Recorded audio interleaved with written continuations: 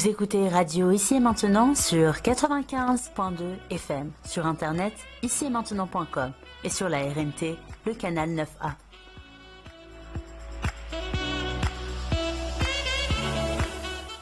L'humeur du temps, tous les lundis dès 23h et Soleil de Perse, tous les derniers samedis de chaque mois, est présenté par David Abbassi, écrivain et historien.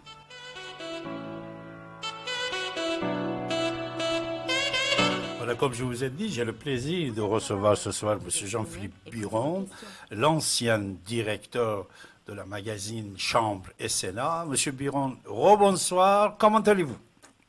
Mais Toujours très bien. Vous aussi, je pense. Excellent. Votre charmante dame, artiste, elle va bien? Oui, oui, très bien. Elle nous écoute ou non? Elle est à Pardon? Paris ou aux États-Unis? Pardon? Elle nous écoute, elle est à Paris ou elle est aux États-Unis? Votre, euh, votre femme, charmante femme. Non, non, non. Pour le moment, je suis dans le, dans le sud-ouest de la France. Ah, d'accord. Excellent. Excellent. Alors, Monsieur Jean-Philippe Biron, euh, vous m'avez annoncé de quelque chose d'assez intéressant euh, il y a déjà quelques jours concernant le Corona et son histoire. Et comme quoi, cette histoire a été écrite il y a déjà dix ans euh, aux États-Unis.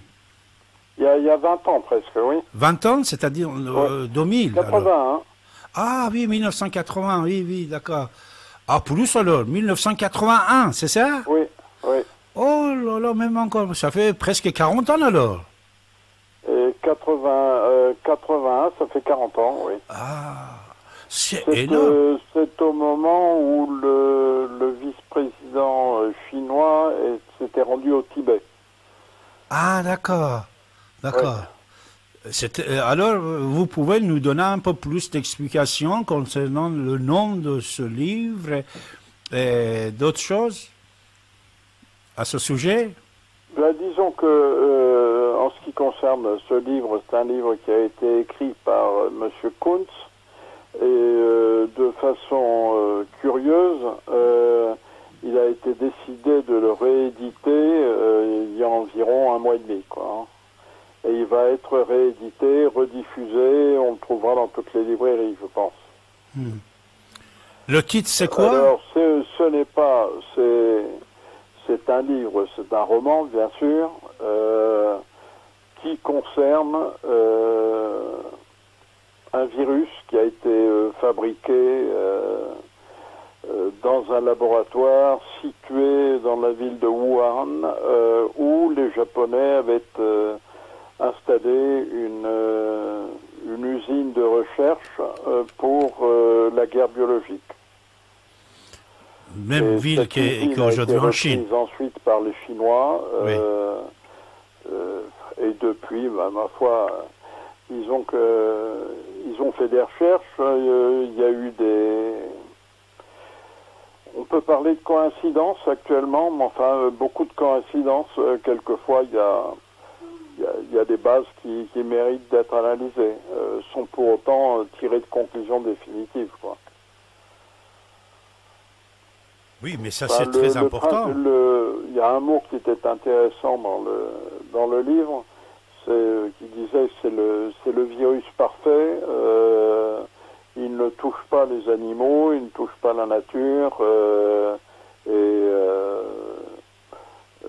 une fois la population euh, disparue, eh ben, on peut rentrer et s'installer directement. Alors je ne pense pas que les Chinois qui sont les premiers à en souffrir actuellement euh, soient vraiment euh, tous concernés par ça. Ça tombe à un moment un peu intéressant parce que on se rend compte actuellement que euh, toute la fabrication euh, ou beaucoup de la fabrication euh, est partie en Chine avec le savoir-faire et que simultanément les emplois ont disparu dans quantité de pays. Alors on parle actuellement retraite en France. On peut considérer d'un côté que le coronavirus occupe beaucoup les médias, un peu plus que les retraites malheureusement, mais euh, il est certain que si les emplois qui sont partis en Chine revenaient actuellement, ne serait-ce que pour satisfaire les besoins des pharmacies, les besoins des électroniciens, etc., etc., bah, les cotisations de retraite rentreraient mieux et l'équilibre se ferait plus vite.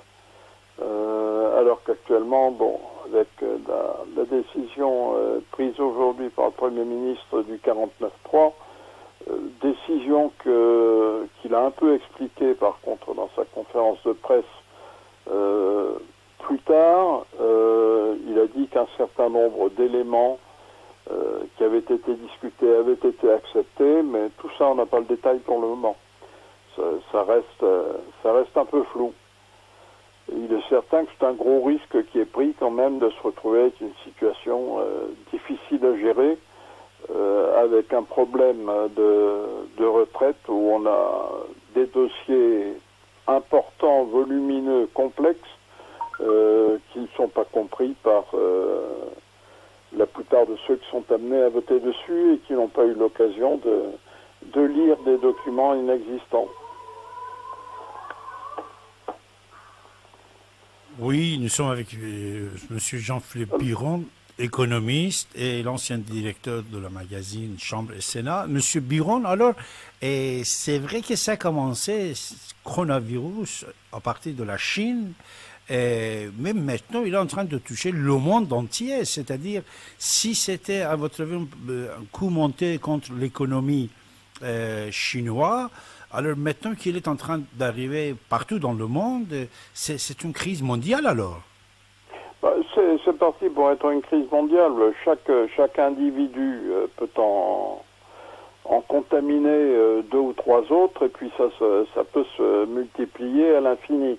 Alors il ne faut pas se laisser aller à la panique, euh, mais il faudrait quand même qu'il y ait des précautions élémentaires qui soient prises, qui dépassent ce qu'avait mis en place l'une des candidates à la mairie de Paris avant de quitter son poste c'est-à-dire de simples documents à l'aéroport euh, sous forme d'une page imprimée, euh, remise à certains passagers et pas à tous. Euh, actuellement, on parle beaucoup des masques qui sont commandés par millions, 300 millions par les Américains, je ne sais combien de dizaines de millions en France, qui sont des masques en fait pour protéger plus euh, la population que euh, les gens qui les portent. Parce que les gens qui les portent, pour être vraiment protégés, il faudrait qu'ils aient également un système qui leur protège les yeux, c'est-à-dire euh, tout, le, tout le visage. La seule règle qu'on puisse retenir actuellement, mais que certaines personnes ne semblent pas comprendre, c'est qu'il faut se laver les mains aussi souvent que possible dans la journée. On entendait tout à l'heure à la télévision une brave dame qui passait qui disait qu'elle s'était acheté un, système euh, alcoolisé euh, et qu'une fois par jour elle se lavait les mains. Euh, on peut penser que c'est la seule fois de la journée qu'elle se lave les mains. Alors on va revenir peut-être à, une certaine tradition de propreté qui était en train de disparaître. Euh, il peut sortir euh, beaucoup de choses intéressantes de, cette crise. Euh, si actuellement on se rend compte qu'il y a des manques dans les supermarchés, on ne va pas dire qu'on manque de cornichons, parce que les cornichons actuellement viennent de, de Chine et d'Inde, alors que dans le temps ils étaient, ils poussaient dans le Cantal euh, dans le Lot, euh, dans le Tarn-et-Garonne, euh, dans plein d'endroits. Maintenant, on les importe. ils sont bien sûr fabriqués dans ces pays qui ont été envahis par les produits Monsanto. et s'éloigne de plus en plus du bio. Enfin, la situation est, complexe. Tout se tout s'intègre euh, à différents niveaux. Difficile, euh, difficile de gérer tout ça. Hein. Et actuellement, il y a beaucoup de gens qui voient leur intérêt direct. Il est certain que faire fabriquer en Chine pour le vingtième du prix de revient en France, ce qu'on va revendre après en multipliant de façon incroyable. quand on parle des masques, par exemple, les masques étaient perçus dans les pharmacies pour environ 5 euros pour 200 masques. Actuellement, on parle de 8,92 euros à 15 euros par masque.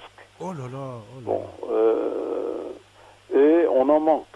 Alors, on en fait fabriquer en Aveyron. Il y a une entreprise qui s'est relancée un petit peu grâce à ça. Euh, mais si on en fait venir, on va les faire venir d'où? De Chine, bien évidemment, hmm. euh, si les Chinois ne les ont pas tous utilisés. Hmm. c'est dangereux. Ce n'est pas une catastrophe nécessairement pour la Chine, parce que la Chine s'est retrouvée grâce à toutes ces manipulations qu'il a pu y avoir depuis des années euh, pour euh, délocaliser les entreprises. Euh, ben la Chine a de quoi faire évoluer très sensiblement le niveau de vie de ses habitants en leur donnant le droit d'acquérir ce qu'ils fabriquent et ce qu'ils fabriquaient avant pour qui était revendu à l'étranger. Alors il y a eu pendant un temps une, une pensée chinoise de de racheter des sociétés de commercialisation euh, qui se trouvaient euh, aux États-Unis, en France, en Angleterre, en Allemagne, etc. C'est le moment, c'est le moment. il semble que ce mouvement soit un peu calmé actuellement et il est certain qu'il sera impacté par, euh, par la crise du coronavirus, qui est une euh, qui risque effectivement de, mal tourner euh, pendant quelque temps. Mais M. Biron, il va acheter plutôt maintenant les sociétés étrangères installées en Chine avec des prix de tellement bas c'est vrai qu'il peut plus peut-être investir en Occident, en Amérique, mais toutes les grandes sociétés qui ont été créées en Chine depuis toutes ces années-là, euh, sociétés créées par les étrangers, par exemple, moi je connais beaucoup de Français, beaucoup des Iraniens, des Américains, qui, qui étaient allés là-bas en Chine et investi là-bas. Alors maintenant, ils vont quitter la Chine et toutes les sociétés, les Chinois, ils vont les acheter avec des prix tellement bas, ça aussi, ça va être en faveur de l'économie chinoise. En même temps qu'il est en train de perdre d'un côté, il gagne de l'autre côté. Ah ouais.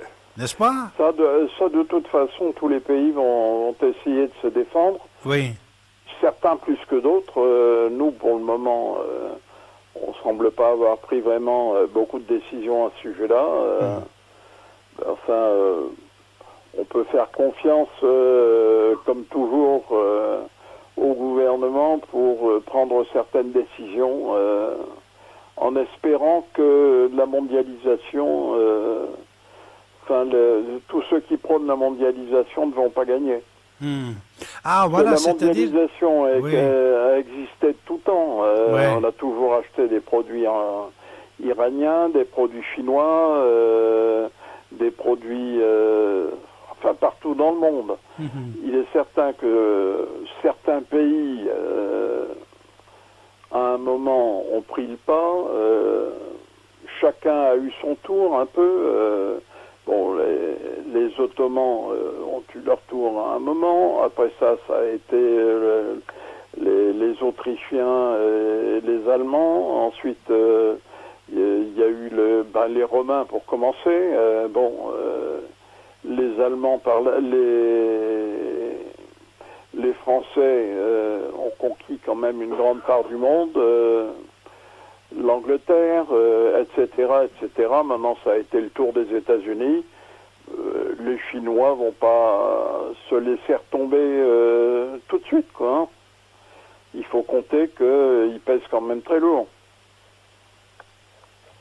Ils pèsent très lourd, mais au niveau commercial, ils vont retrouver la, finesse chinoise euh, qu'ils avaient dans le temps au niveau individuel. Oui, oui, oui. Alors, en tout, c'est très bien, vous êtes optimiste, Monsieur Buron. C'est-à-dire, vous pensez à cause ou grâce à ça, l'économie nationale de chaque pays euh, va aller mieux qu'avant. Ben, c'est possible. Tout dépend de la des décisions des gouvernants. Hmm. Mais c'est possible. Parce qu'actuellement, il y a des besoins locaux. Hmm. Euh, ces besoins locaux, on ne peut pas les fournir avec les produits d'importation. Oui. Ces besoins locaux sont importants. Ce qui manque aux entreprises, ce sont des commandes d'État, euh, ce sont des commandes sur des longues durées qui leur permettent d'embaucher du monde et d'avoir une reproduction des commandes par la suite. Quoi, hein. Bon, euh, il est certain que les prix n'auront rien à voir avec les prix chinois, euh, mais la crise actuelle a fait monter les prix de pas mal de choses il va falloir vivre avec, quoi. Hein. Hmm. C'est-à-dire, vous pensez que le prix va augmenter partout? des, des produits fabriqués ici. Le, le, système chinois a fait avancer pas mal de choses avec la robotisation qu'ils ont mise en place chez eux, hmm. même s'il ne manque pas de monde. Euh, c'est pas la main-d'œuvre qui manque en Chine, quoi. Hein. Hmm. Mais ils ont été, euh, après les Japonais, les premiers à implanter les, les robots. Alors sans aller aux robots qui vont remplacer l'homme, ce que ce qu'on entend encore euh, avec certains dans certaines industries, euh, on peut croire un peu à un retour de l'emploi. Mmh. Et un retour de l'emploi qui réglerait ce problème de retraite. Alors, à votre avis, à votre avis, les prix vont augmenter partout. Euh, il va dépasser le prix des masques. C'est vrai, quand, quand on va fabriquer ici, alors le prix ne va pas être le même. Alors, ça, c'est aussi c'est grave puisque les, gens n'ont pas l'argent à dépenser. Les, les, prix vont remonter, étant donné que pendant quelque temps, du moins, euh, les produits chinois seront moins. Mais ce qu'on appelle des produits chinois, ça peut devenir des produits indiens ça peut devenir des produits libanais, ça peut devenir... Euh, euh, il y a beaucoup de gens qui, euh, au lieu de faire du trafic de personnes ou du trafic de drogue, vont se mettre à faire du trafic de produits chinois qui seront réidentifiés dans d'autres pays. Hein. Hmm. Hmm. Alors, on va revenir, M. Jean-Philippe Biron, sur l'histoire coronavirus qui a été écrite en 1981. Vous savez que ce n'est pas seulement euh, ce virus-là qui a été écrit comme un roman il y a déjà 40 euh, ans. Nous avons eu euh, les élections américaines que M. Donald Trump il a gagné. nous l'avons vu dans le feuilleton de les Simpsons. Les Simpsons, vous, l'avez vu En 2015, ils ont fait une partie d'une feuilleton américaine, les Simpsons, il montrait quelqu'un comme euh, Donald Trump qui devient président des États-Unis. Et, euh, il descend un escalier, que la même chose, le même cinéma euh, va être répété quand lui, il est président. Il va descendre le même escalier.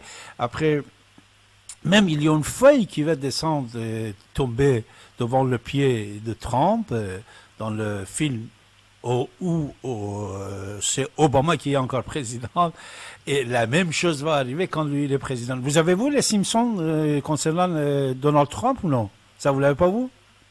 Le, j'ai pas bien compris. Vous connaissez les feuilletons télévisés, les Simpsons? C'est une ah, feuilleton. le feuilleton télévisé? Oui, oui, oui. Car à l'époque, même George Bush il disait que je regarde cette feuilleton-là. Alors, cette feuilleton, ben, vous ne le connaissez pas, c'est pas grave. Dans cette feuilleton, M. Jean-Philippe Buron, avant que Donald Trump soit président, nous sommes informés comme quoi Donald Trump il est président des États-Unis et certaines, certaines scènes dans le feuilleton va être exactement exécutées une fois que lui il est président. Là-dedans, bien sûr, il part euh, à la fin de l'assassinat de Donald Trump, que ça aussi, beaucoup de euh, des gens, ils ont dit qu'il va être assassiné. Alors, je, n'espère pas, mais on a dit, mais dans cette feuilleton-là. Et dans cette feuilleton-là aussi, il euh, fait propagande pour euh, l'islam, comme quoi certains proches de cette feuilleton, ils deviennent musulmans, je ne sais pas quoi. Ça, c'était très intéressant. Vous l'avez pas vu, ça? Non? Non, les Simpsons concernant Donald Trump, vous l'avez pas. Alors, si vous tapez sur Google les Simpsons, Donald Trump, et vous pouvez euh, regarder euh, des anecdotes assez intéressantes. À part de ça, il y en a une autre chose, c'est le livre Crash 79. Ah, Crash 79, je l'ai cherché. Euh, normalement, je vais le recevoir la semaine prochaine. Je ne l'ai pas encore lu.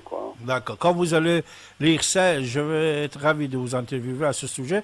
Parce que ça aussi, c'est un roman qui s'est écrit cinq ans avant le chute de Shah d'Iran. Et quand il dit 79, c'est l'année de chute de Shah d'Iran. C'est exactement dans 79 qu'il va être chuté. Exactement, les Saoudiens étaient, sont dans le coup. Exactement, il dit la guerre chiite sunnite euh, va être créée, va être euh, suivie pendant des années. C'est le cas actuel dans le monde. Ah, c'est-à-dire tout ce qui se passe depuis chute de Shah d'Iran jusqu'à maintenant, c'était déjà prédit, préécrit euh, dans le livre de M. Paul Erdmann, banquier américain. Vous connaissiez Paul Erdmann?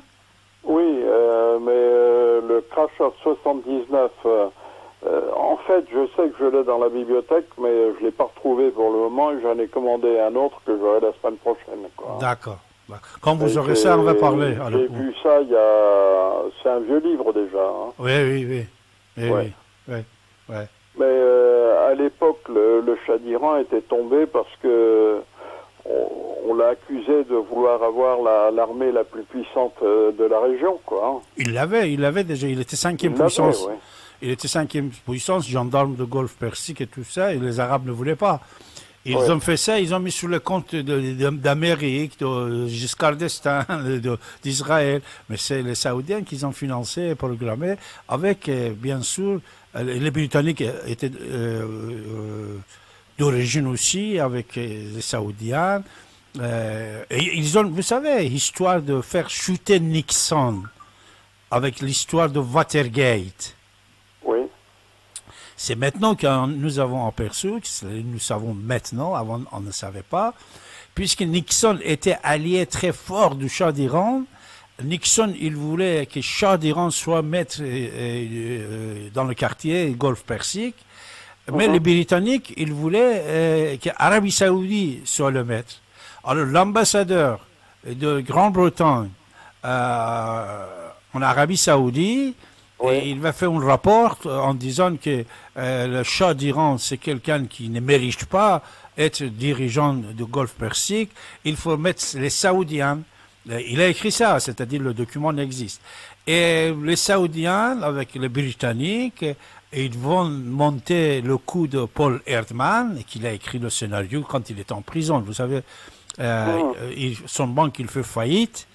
Après, on le met en prison hum, en Suisse. C'est là qu'il écrit ce livre-là. Après, il le vend, il ramasse euh, énormément d'argent. Et le projet, après, va être exécuté euh, en cachette par les Britanniques et l'argent des Saoudiens. Et ils ont fait marcher les Américains, euh, Jimmy Carter, ici, voilà, Régis Cardestin, et d'autres pays, ils vont faire entrer dans le coup. et à Guadeloupe, ils vont décider de ramener Khomeini au pouvoir et, shooter euh, le, le, le chat d'Iran, voilà, vous voyez. Euh, euh, là, dans, le document... Les Anglais, pour le moment, on ne sait pas trop ce qu'ils... On sait pas trop ce qu'ils vont faire, quoi. De toute façon, vous ne pensez pas que les, Anglais, les, Britanniques, ils sont toujours maîtres du monde. Hein? Ils ont dit Maîtres, maîtres du monde. C'est-à-dire même de temps en temps, ils profitent des États-Unis en faveur de leurs intérêts économiques et politiques mondiaux. Ah ben, ça, ça fait longtemps que... enfin, pendant un bout de temps, quand même, l'Angleterre était un peu dépendante des États-Unis, quoi. Ah, c'est vrai, mais euh, donnant, donnant. Ah, c'est vrai, mais euh, donnant, donnant. Donnant, hein. donnant, donnant. La Russie aussi, vous savez que sur certaines idées euh, de colonisation, ancienne colonisation britannique, même ils sont des liens avec les Russes. Avec des Russes, ils ont des liens. Oh ben, avec les Russes, ça a commencé par Cambridge. Voilà, voilà. comment ça s'était commencé par le Cambridge? Vous pouvez donner un peu plus des explications pour nos auditeurs? Cambridge, euh, c'est-à-dire qu'il y a toute une équipe de, de professeurs, euh, de docteurs de, Cambridge, euh, dont certains sont restés en Angleterre et d'autres sont partis à Moscou, d'où ils n'ont pas pu revenir, étant donné leurs occupations. Quoi, hein. oui. bon, on a, les Anglais ont prétendu aller les chercher, mais ils n'ont jamais voulu les trouver quand même. Hmm. C'est vrai. Euh, le, monde, le monde est complexe, il n'est pas fait pour se simplifier, mais euh, la crise actuelle, euh, les crises actuelles, qu'elles soient mondiales ou qu'elles soient simplement françaises, vont influencer un certain nombre de choses. Ouais. J'ai aperçu une, une vidéo de, du vice-ministre de la Santé de, d'Iran euh, qui, qui, souffrait apparemment de, du virus. Il va mourir. Allô? Oui, oui, oui, il va mourir en plus. Il est hospitalisé. ouais. Vous savez, il, avait le virus, il venait à la télé euh, sans masque. Et vous savez, jusqu'à aujourd'hui, il y a beaucoup de tués en Iran surtout euh, de cadres de gouvernement. Les ayatollahs, le nouveau de guide spirituel, il a attrapé le corona, les députés, beaucoup de personnes. Les ministres, il y en a une ministre femme, euh, cette femme-là aussi, euh, et, elle a attrapé corona, vous voyez. En Iran, c'est grave. Hein? Ah. Oui, qu'il y a de curieux, c'est. Enfin, le, le, problème de l'Iran, c'est le. C'est le problème de la propagation euh, d'un d'un islam très radical, quoi. Vous savez qu'il y avait des ayatollahs. Tout ça, l'histoire de l'Irak, ça a commencé comme ça, quoi. Hein. Hum, hum. L'Iran, c'est la suite de l'Irak. C'est l'Irak suite de, de, l'Iran plutôt.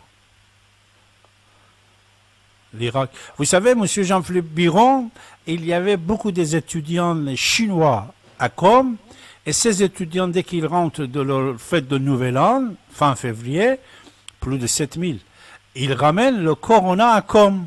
Euh, c'est à partir de Com, en plus, Com, puisque c'est une ville sainte, les gens, ils vont là-bas pour pèlerinage, euh, les gens de n'importe où dans le pays, ils étaient allés là-bas, euh, ils ont attrapé le virus, ils l'ont ramené. Oui, parce que en France, euh, il y a Lourdes, en Iran, il y a Com, quoi. Hein. Voilà, Com et Machat, il y en a deux.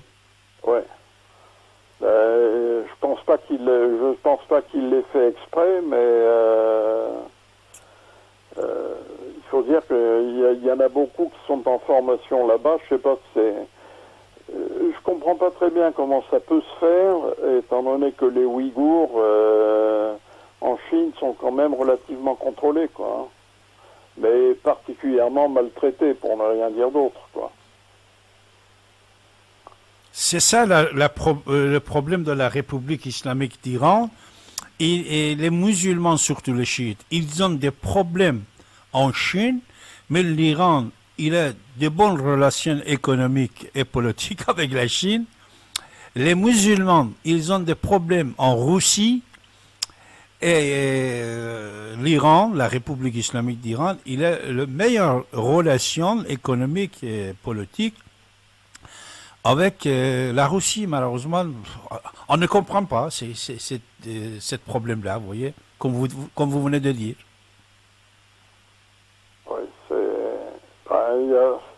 disons qu'il y a beaucoup de, beaucoup de décisions mondiales qui sont prises au nom de l'argent et rien d'autre. Bravo, bravo, bravo. C'est seulement l'argent. Tout est l'argent. C'est l'argent qui prime un peu partout. Bravo, bravo. C'est l'argent. comme on peut en parler, pour, comme on en parlait tout à l'heure, pour, euh, pour les produits, euh, produits fabriqués en Chine. Bah, c'est de, de l'argent facile. C'est de l'argent facile. On a, on a rapporté là-bas les industries, mais avec du personnel qui ne coûtait rien. Mmh. Enfin, il y a le, monde change, euh, mais il est possible. Enfin, on, peut toujours espérer, ça fait pas de mal. Ça fait pas vivre, mais ça fait pas de mal. Hmm. Mais ça fait mal. C'est la guerre qui dure dans le monde, Monsieur Jean-Philippe Buron. La, guerre est partout. C'est une guerre mondiale.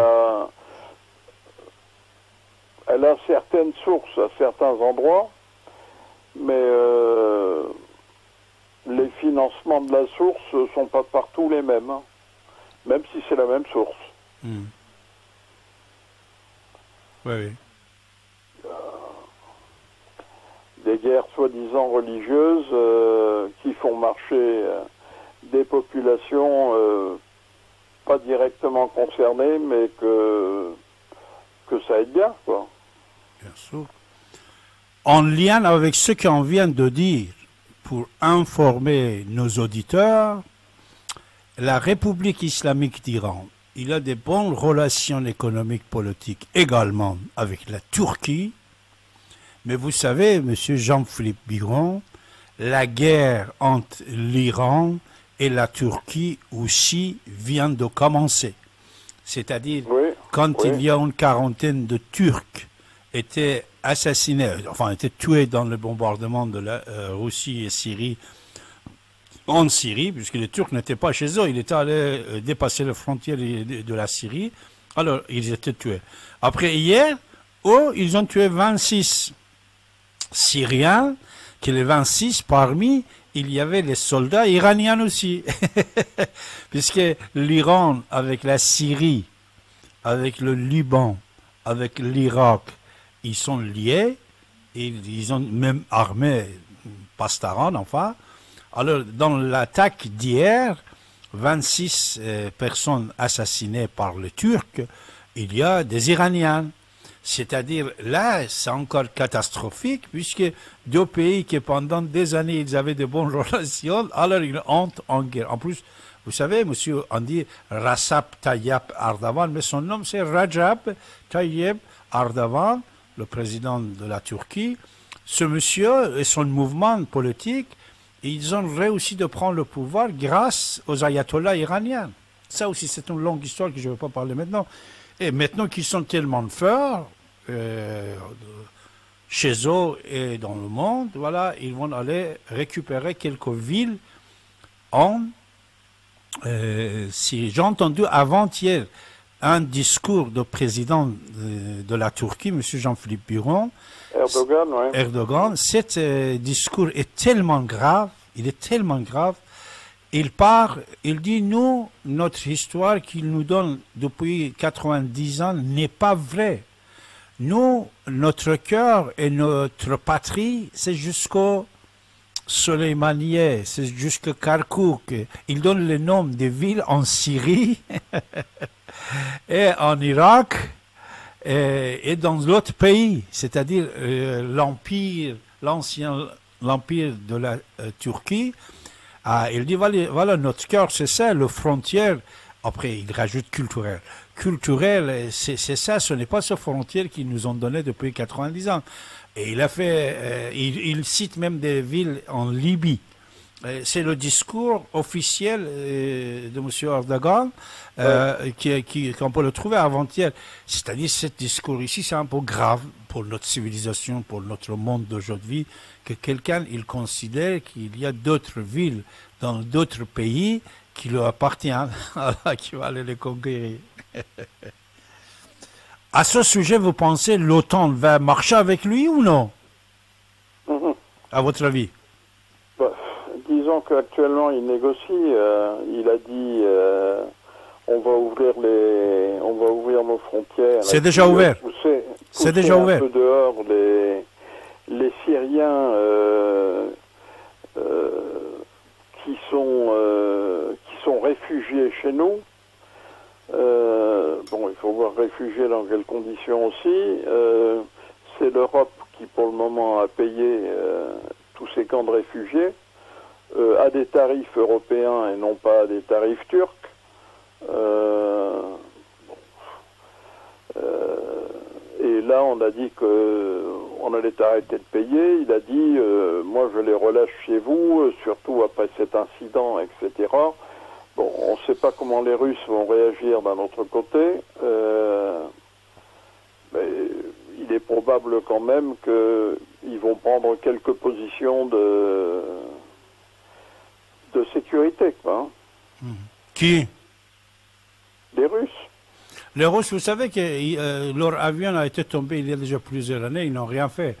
Les Russes aussi, n'oubliez pas, Vladimir Poutine, puisque vous êtes économiste, c'est un businessman plutôt qu'un euh, guerrier ou je ne sais pas quoi. C'est un businessman. Vous, vous savez qu'un des problèmes de la Turquie, c'est l'achat des missiles euh, russes, que Pentagone, euh, autant n'était pas d'accord, vous voyez c'est-à-dire, il a déjà payé les Russes concernant cette euh, ambiance qu'il a. Euh, moi, je suis sûr et certain que rien ne va pas empêcher la Turquie d'avancer, puisque le Bachar Assad, euh, c'est le méchant dans les yeux des Occidentaux. Libye, l'Occident, il pense peut-être surtout les Américains. Les Américains, ils pensent que si c'est la Turquie qui aurait plus de force euh, ça sera mieux pour le pétrole et tout ça. Moi, je ne pense pas, euh, je ne pense pas qu'on va arrêter, sauf s'il y aura une alliance euh, de côté de la République islamique d'Iran, que sauf lui, il ose dépasser la volonté de la Russie et mobiliser une attaque assez large contre la Turquie surtout que maintenant 26 personnes étaient assassinées. Sinon, moi, je ne pense pas que le monde, il va empêcher la Turquie. Comme vous avez dit, c'est question de l'argent. Il va le partager après, avec tout le monde.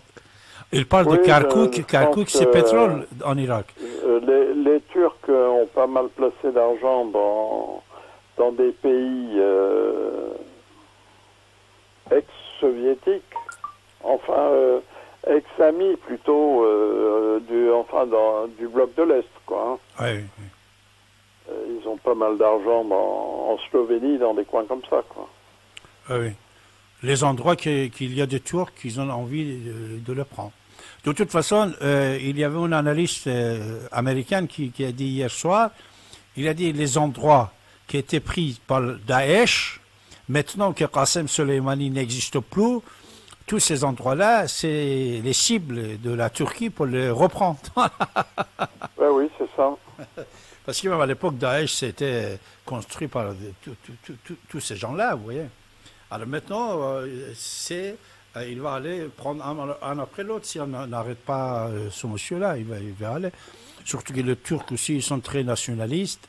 Ils vont être fiers d'aller récupérer ce qu'Ardavan, hier, Ordagan, on dit ici, mais son, vrai nom, c'est Ardavan. Vous savez, quand les noms, ça change, monsieur Jean-Philippe Biron, c'est très intéressant. Je vous dis quelque chose.